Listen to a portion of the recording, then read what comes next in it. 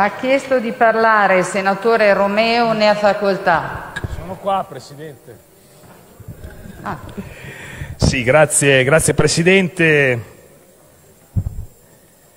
Egregi membri del Governo, colleghi, anticipiamo subito, essendoci due votazioni in programma, che sul ricorso all'autorizzazione al ricorso all'indebitamento per il 2020 la Lega voterà favorevolmente. Sono risorse che andranno ai nostri cittadini, quindi con senso di responsabilità, come abbiamo già fatto l'11 marzo, ci orientiamo su questa strada, che è quella strada anche di quella collaborazione di cui tanto si sente parlare e discutere, quindi all'atto concreto mi sembra che la Lega ci sia. Certo si sarebbe potuto fare sicuramente qualcosa di più, Avevamo detto che a marzo non sarebbero stati sufficienti 25 miliardi, vi diciamo in questa occasione che non saranno sufficienti 55 miliardi eh, di ricorso all'indebitamento e quindi di scostamento dall'obiettivo di medio termine, però eh, forse anche in questa occasione un po' di coraggio in più avrebbe potuto far guadagnare tempo ai tanti cittadini che stanno ancora adesso aspettando soldi, risorse e che hanno bisogno di questo per continuare a sopravvivere. Sul fronte invece del Documento di economia e finanza capisco che sia una fase particolarmente delicata, di emergenza, che non sia semplice. Sorvolando sui numeri perché guardate, per la breve esperienza parlamentare che ho avuto, indubbiamente le previsioni del DEF non sono mai state poi rispettate a consuntivo, figuriamoci se in una fase emergenziale come questa qualcuno possa essere in grado con certezza di dire quanto aumenterà il PIL, quanto diminuirà, quanto riusciremo a riprenderci. Cioè, nessuno sa bene quando questa fase finirà, quindi diventa difficile soffermarsi sui numeri. Ma guardiamo i contenuti cioè l'idea di ricostruzione economica che questo documento poteva assolutamente contenere e che purtroppo non contiene. È un documento un po' debole, ci saremmo aspettati qualcosa di più, manca il programma nazionale di riforma, per esempio, indispensabile per individuare quali sono gli strumenti più importanti. Presidente, chiedo scusa, però non riesco a intervenire per i colleghi, grazie, se potete uscire dall'Aula, se avete discussioni da fare. Per cortesia, grazie. un po' di gentili. silenzio perché mi pare una esatto. discussione importante. Esatto. Grazie Presidente. Niente, per dire che quindi quando si sente dire da più parti che le crisi possono trasformarsi in un'opportunità, molti fanno a gara per citare questa, questa frase, bene, noi abbiamo un'occasione storica per davvero cominciare a correggere i difetti del nostro sistema Italia. Difetti che sono tanti e che si sono ravvisati anche quando la burocrazia non è stata in grado di concretizzare le stesse misure che il governo aveva messo in campo. Sono tanti i difetti, ma per fare questo, per avviare una vera ricostruzione, occorre una parolina magica che si chiama fiducia.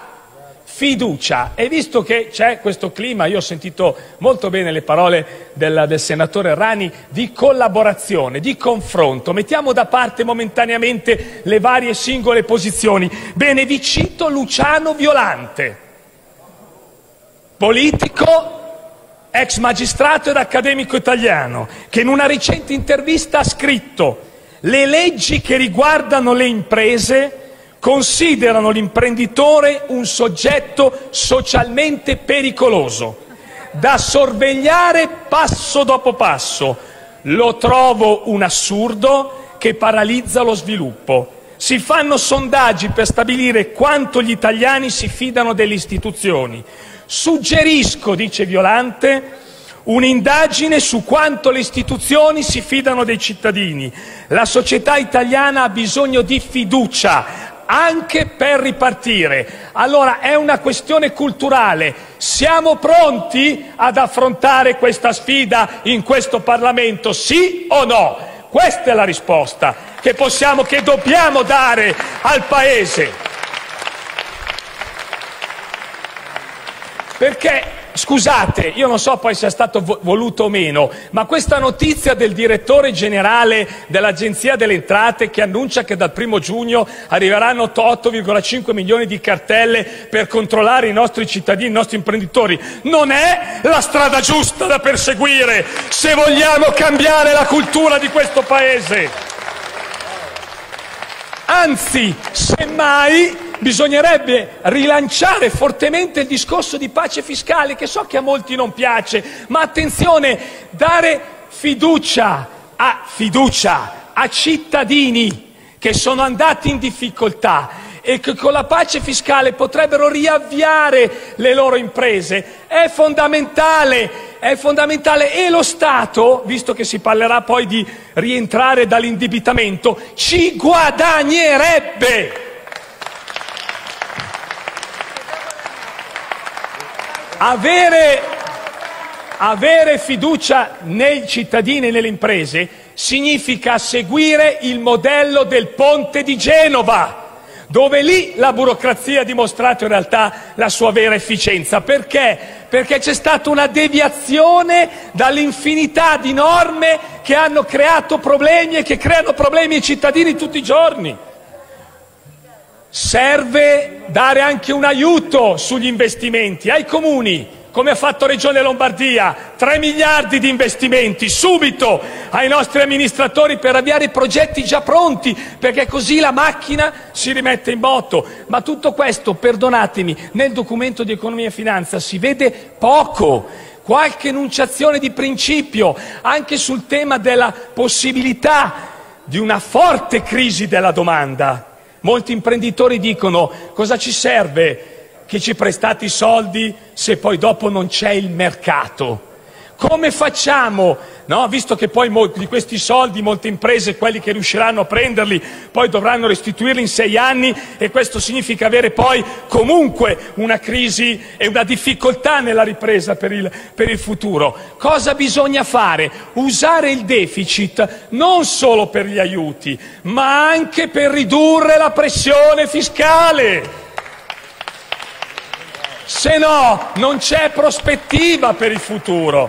Questa è un'occasione unica, storica. Molti imprenditori dicono se non lo fate adesso, quando mai la politica italiana riuscirà a fare davvero una seria riforma fiscale che vada in questa direzione? Per noi della Lega significa flat tax, tassa piatta, unica, semplificazione, fiducia agli imprenditori.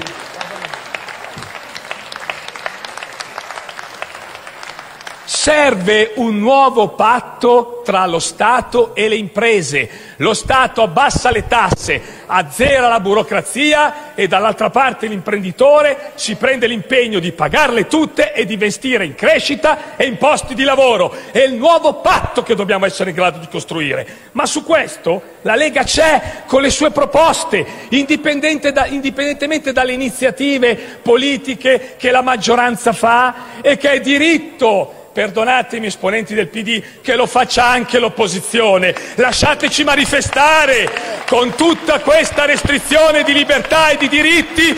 Adesso ci manca solo che non possiamo stare sul nostro posto di lavoro. Ma è assurdo questo, è assurdo, senza dare fastidio a nessuno.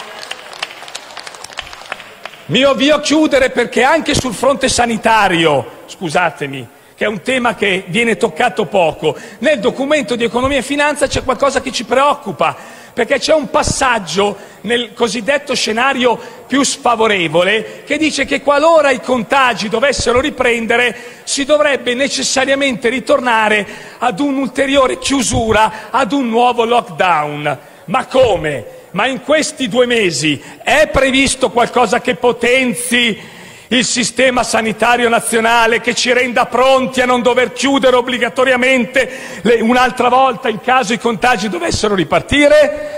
Cioè questo è il vero tema. Anche qui nel DEF c'è ben poco. C'è un potenziamento della medicina territoriale, della rete nazionale, di ospedali che magari molti erano in fase di chiusura per la famosa questione dei punti nascita che potrebbero essere utilizzati invece sia per ospedali per il, contrastare il coronavirus che ospedali anche per il dopo. C'è questo piano non serve, e chiudo, nascondersi dietro alla regionalizzazione del sistema sanitario per deresponsabilizzarsi.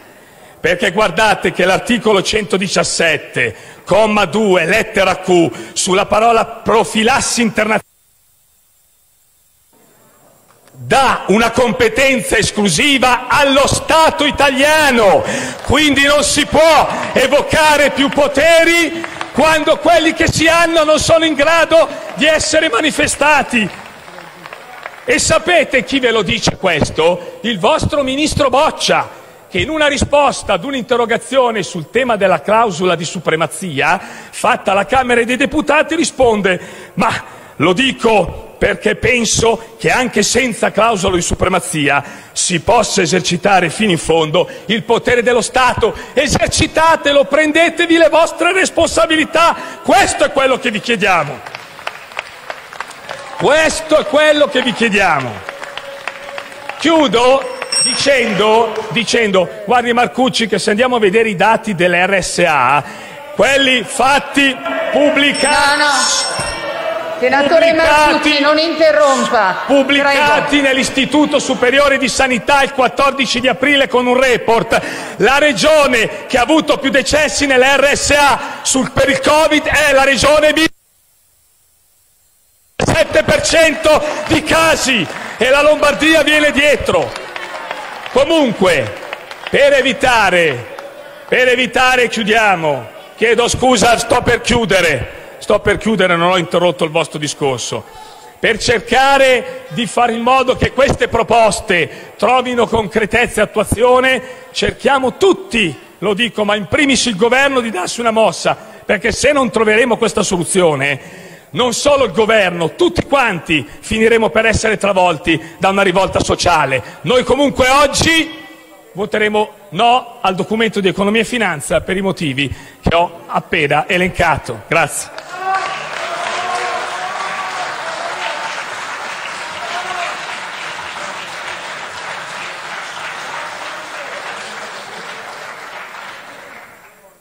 Ha chiesto di parlare.